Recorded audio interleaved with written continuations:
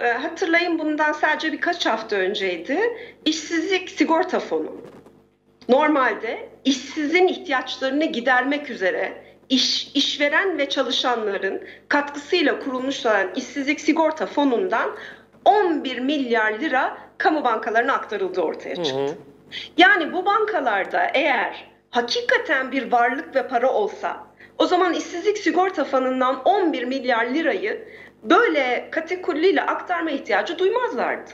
Yani hiç iktisadi bilgiye ihtiyaç yok. Yaşanılıyor olan olaylar ne derece kaynakların kuruduğunu ve günü kurtarmaya çalışırken iktidarın da esasında ne kadar bocaladığını ortaya koyuyor.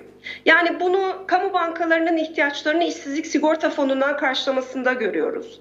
Bunu kamu bankalarının vıdımık adı altında hiçbir varlığın olmadığı bir yerde hı hı. üstelik de daha önce dünyada kriz çıkarmış olduğunu bildiğimiz bir düzeni Türkiye'ye ihraç ederken görüyoruz. Bunu Türkiye Cumhuriyet Merkez Bankası'nın genel kurul toplantısını olağanüstü bir şekilde Ocak ayına apar topar alıp oradaki 37 milyar lira karı hazineye devretme telaşında görüyoruz. Yani Türkiye'de paranın olmadığı, müthiş bir borç yükü altında artık ezilmeye başladığımızı bu verilerin hepsi gösteriyor. Şu gerçeğin altını çizelim. Bugün Türkiye'nin dışarıya 448.5 milyar dolar borcu var. Hakan Özyıldız'ın çok değerli Hakan Özyıldız'ın son yaptığı e, yazdığı yazıda şu gerçek ortaya konuyor. Yeni ekonomik program içerisindeki milli gelir hesabını alırsanız bugün Türkiye'nin dışarıya olan borçlarının milli gelire oranı neredeyse yüzde 59'a ulaşmış vaziyette.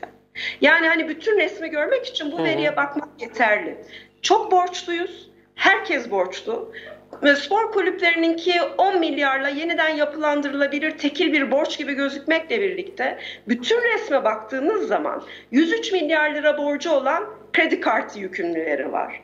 Bunun ötesinde bankalara kredi borcu olduğunu bildiğimiz 5, 500 milyar lirayı geçmiş olan bir tüketici kredi borç yükü var ortalıkta.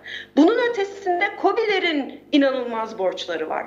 Bunun ötesinde çiftçilerin yani bunu da konuşalım. Çiftçilerin özel bankalara, kamu bankalarına, tarım kredi kooperatiflerine 110 milyar liralık bir borç yükü var. Yani spor kulüplerininkine tekil baktığınız hı hı. zaman bu bankalar yapılandırabilir yapılandırabilir mi bunu? Evet yapılandırabilir. Ama niye Türkiye bu kadar borç yükü altındayken, niye halk bunca kriz altında ezilirken öncelik ve tercih spor kulüplerinden yana kullanılıyor?